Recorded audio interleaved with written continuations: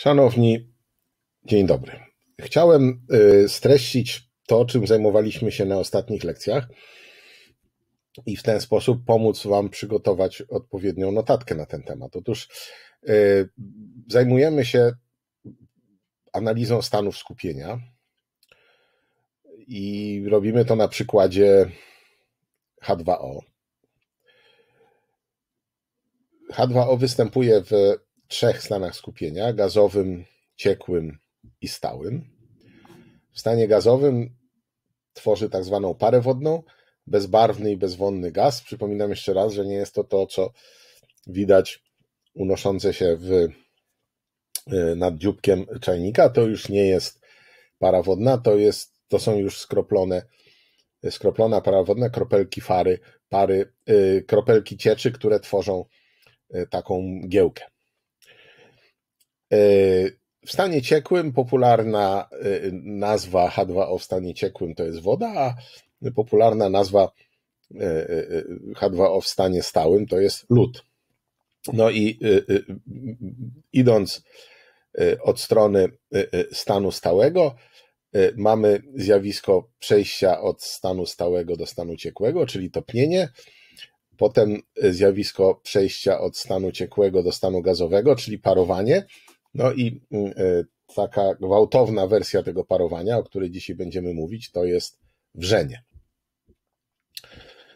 Na temat e, mechanizmu parowania dzisiaj nic nie powiem, dlatego że czeka nas jeszcze jedno doświadczenie na ten temat i wtedy przy streszczeniu tego doświadczenia będzie więcej na temat parowania.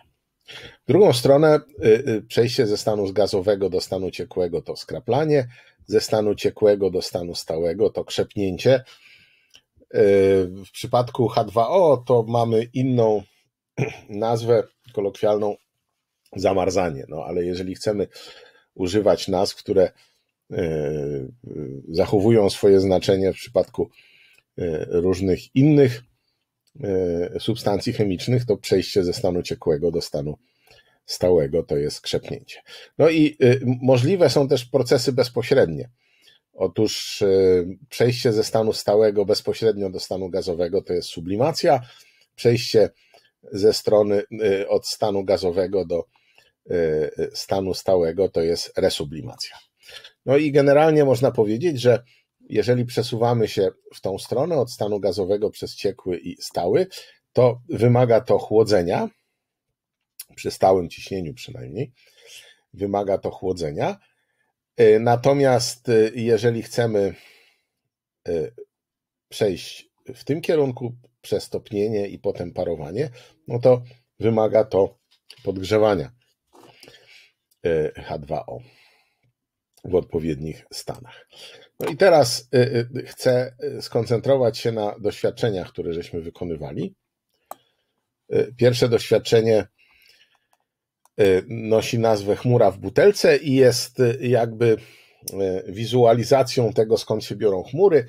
No, w takim najprostszym przypadku powierzchnia Ziemi utrzymuje sporo wilgoci pod drzewami, w trawie utrzymuje się wilgoć. Jeżeli jest ciepło, to to wilgotne, ciepłe powietrze unosi się do góry. Unosi się do góry ciepłe powietrze no z powodu prawach Archimedesa ma nieco mniejszą gęstość niż chłodne i w związku z tym siła wyporu e, unosi je do góry, gdzie napotyka chłodne powietrze, które albo napływa skądś, albo po prostu temperatura spada z wysokością. No i wtedy e, para wodna w tym e, wilgotnym powietrzu skrapla się. Skrapla się, tworzy najpierw maleńkie kropelki, a potem E, te maleńkie kropelki, do tych maleńkich kropelek przyłączają się coraz większe, e, e, coraz więcej cząsteczek wody i te kropelki rosną, rosną, rosną, rosną, no i kiedy zrobią się odpowiednio duże, to pada deszcz.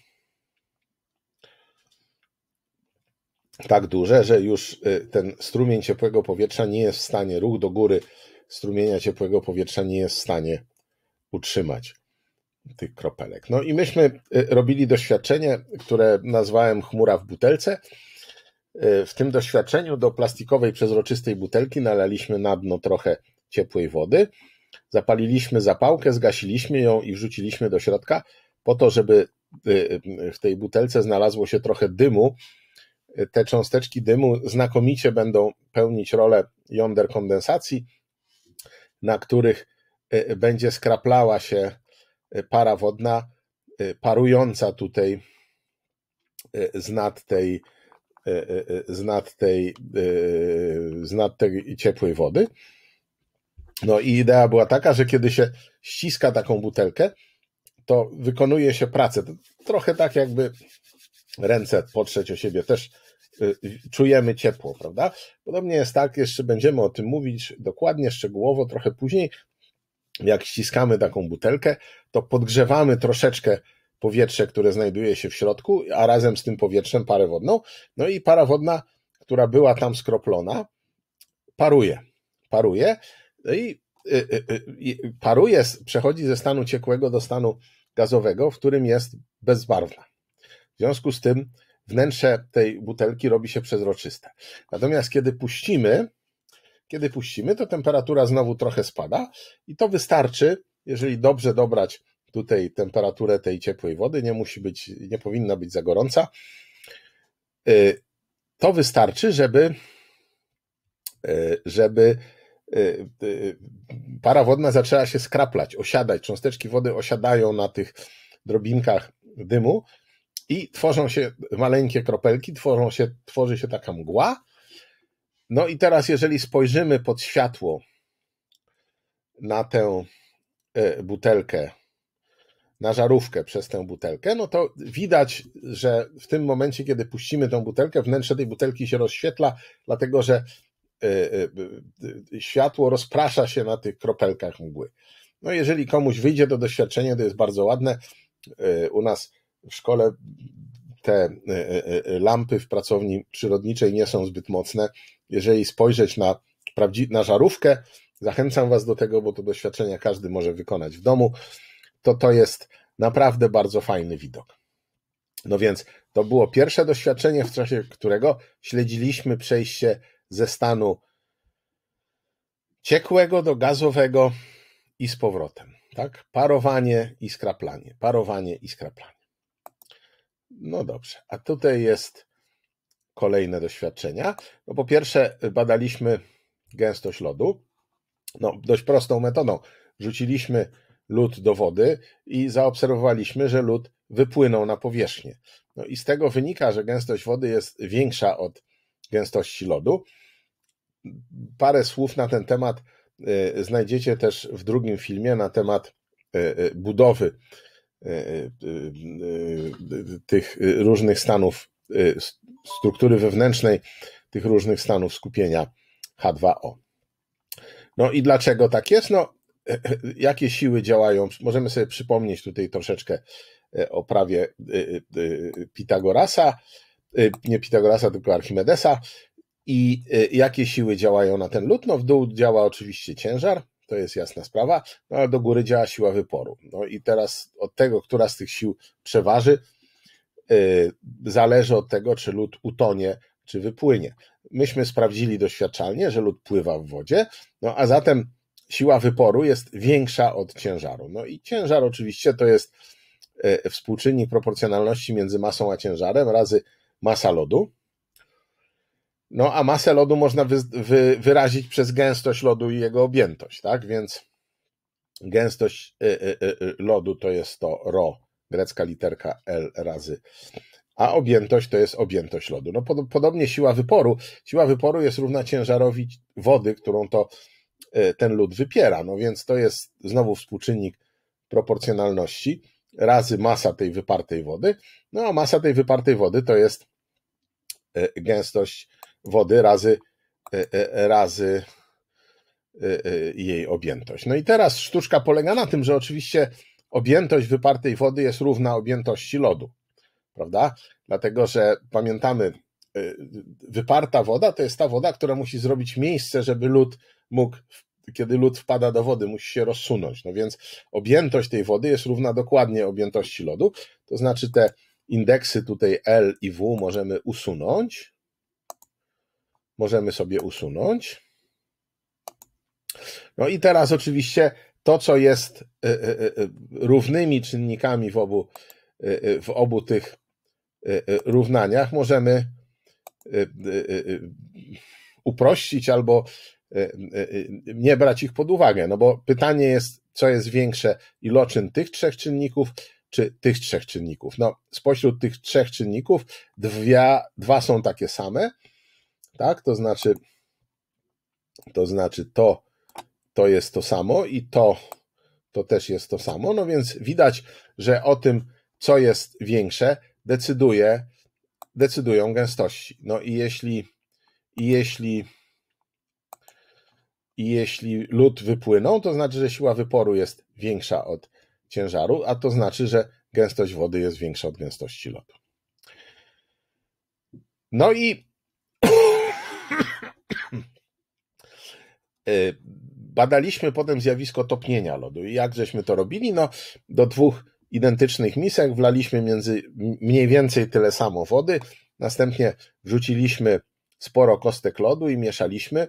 Lód się rozpuszczał, temperatura wody spadała, Y, mierzona tymi termometrami kuchennymi, które nie są zbyt dokładne, e, e, udało nam się e, zmniejszyć tą temperaturę do poniżej tak naprawdę w jednym przypadku, do, do około 2 stopni Celsjusza.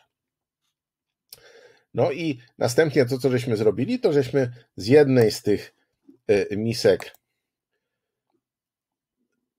usunęli lód, a dokładnie rzecz biorąc przenieśliśmy ten lód do drugiej miski. Ja to już tak w skrócie tylko pokażę, usuwając to.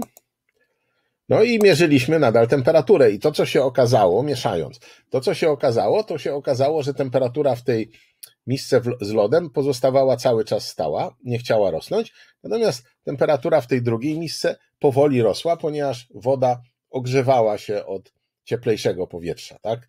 Zaczęliśmy tutaj od dwóch stopni. E, w pomieszczeniu panowała temperatura pewnie 18-19 stopni, może 20, bo było nas całkiem sporo osób i każdy z nas grzał sobą to pomieszczenie, powietrze w tym pomieszczeniu. No w każdym razie w każdym razie temperatura wody w tym naczyniu rosła, a w tym utrzymywała się, lód się topił i temperatura utrzymywała się na tym samym poziomie. No i to jest, to jest, to jest, widzę, że tu jest jakiś błąd, jest napisane wood, a nie lód, mi się zdaje. Teraz będzie dobrze. To jest demonstracja w tego, że lód topi się albo woda zamarza w temperaturze 0 stopni.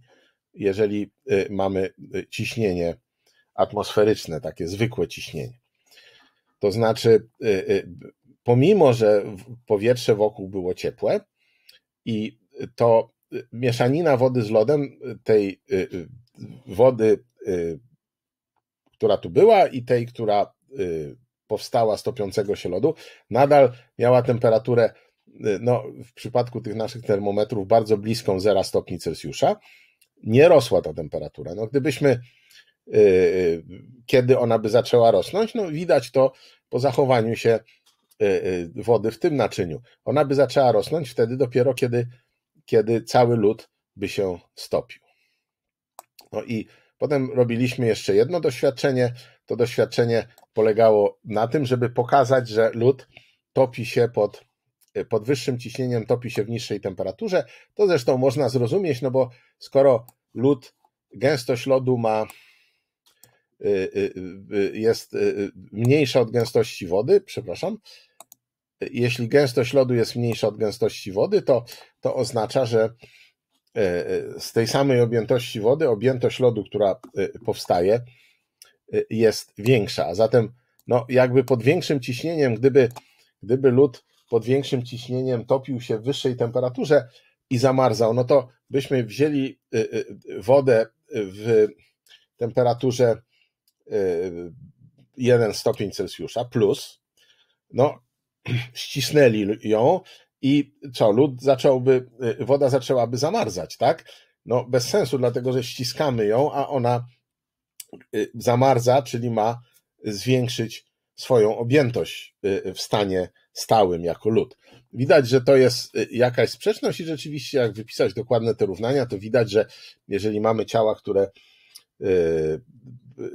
przechodząc ze stanu ciekłego do gazowego zmniejszają swoją gęstość, to temperatura topnienia maleje przy wzroście ciśnienia. No i to badaliśmy w ten sposób, że e, e, kostkę lodu znowu umocowaliśmy na statywie. Tutaj jest ta kostka lodu. Zdjęcie dołączę do, do pracy domowej. Powiesiliśmy e, na miedzianym drucie odważnik o ciężarze 2 kg. No i to, co się działo, to to, że powolutku, powolutku pod wpływem ciśnienia drut był cieniutki, więc wywierał ciężar tego odważnika wywierał bardzo duże ciśnienie, bo powierzchnia, pamiętacie, że ciśnienie to jest stosunek siły do parcia do, do powierzchni. Powierzchnia tego drutu była bardzo niewielka, w związku z tym on wywierał bardzo duże ciśnienie, no i, no i powolutku, powolutku, prawda, powolutku, powolutku przecinał tą, przecinał ten lód, przy czym za E, e, po tym jak ten lód się wgłębiał w, e, jak drut wgłębiał się w lód, to za tym powyżej tutaj to znowu zamarzało, mogliśmy się o tym przekonać, chociaż nie wszyscy w to wierzyli od razu. No i tu jest akurat fotografia, jak mówię, załączę tą fotografię do, do materiałów do pracy domowej. No i w końcu ostatnie doświadczenie, które żeśmy wykonywali i które warto i, tu, i które warto e, e, opisać e, w notatce, no to było sprawdzenie, co się dzieje z wodą, która wrze. Jak mówię o parowaniu i o tym dokładnie, czym jest wrzenie i że to jest parowanie jakby w całej objętości, to jeszcze opowiem w kolejnym filmie po kolejnej lekcji. Natomiast tu zresztą jest e, e, link i można sobie ten film obejrzeć. Ja, jak to wygląda.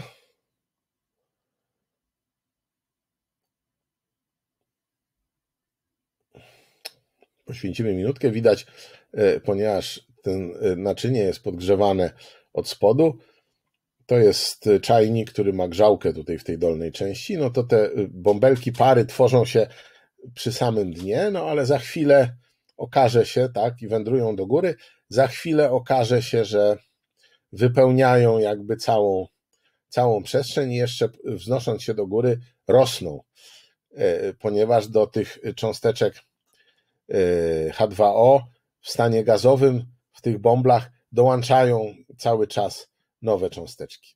Tak widać to parowanie w całej objętości. No i co się dzieje w tym czasie z temperaturą? No, postawiliśmy garnek na, na maszynce elektrycznej, przykryliśmy go pokrywką ze styropianu, zresztą przez tą pokrywkę łatwo było przebić umocowany na drewnianej e, e, deseczce termometr. No i sprawdziliśmy, że w momencie, kiedy woda zaczęła wrzeć, temperatura Y, y, tej wrzącej wody przestała rosnąć. Ona tam ustabilizowała nam się na 96 stopniach y, czy 97 stopniach prawie. Ta różnica to jest oczywiście błąd tego termometru. To nie jest zbyt precyzyjny termometr, służy do zastosowań kuchennych, a więc takich, w których tam dokładność 10 stopni nie odgrywa jakiejś bardzo istotnej roli. Więc to, co się okazało, to okazało się, że tak jak poprzednio pamiętacie, e, lód topniał, a woda e, krzepła e, w temperaturze 0 stopni Celsjusza pod normalnym ciśnieniem, to, w to woda wrze, wrze w temperaturze 100 stopni Celsjusza. No i oczywiście ta temperatura znowu zależy od ciśnienia, dlatego że jeżeli chcemy, żeby te bąble pary wodnej powstawały w całym Y, w całej objętości cieczy, no to jeżeli ściśniemy tą ciecz, to tym bąblom będzie trudniej powstawać, bo też je ściśniemy, tak? W związku z tym temperatura wrzenia rośnie, jeżeli y, ciśnienie rośnie. I to się wykorzystuje w takich specjalnych garnkach, szybkowarach ze szczelną pokrywką. Tutaj y, para wodna może wytworzyć większe ciśnienie, przez to woda wrze wyższej temperaturze, można podgrzać wodę do wyższej temperatury i przez to jakby to, co się tutaj gotuje, gotuje się szybciej. No i na odwrót, w mniejszym, pod mniejszym ciśnieniem gdzieś w wysokich górach temperatura wrzenia jest niższa i o tym trzeba pamiętać zawsze, jeżeli się gotuje herbatę w takich warunkach. Ja myślę, że to wszystko, o czym chciałem Wam dzisiaj opowiedzieć. Dziękuję bardzo.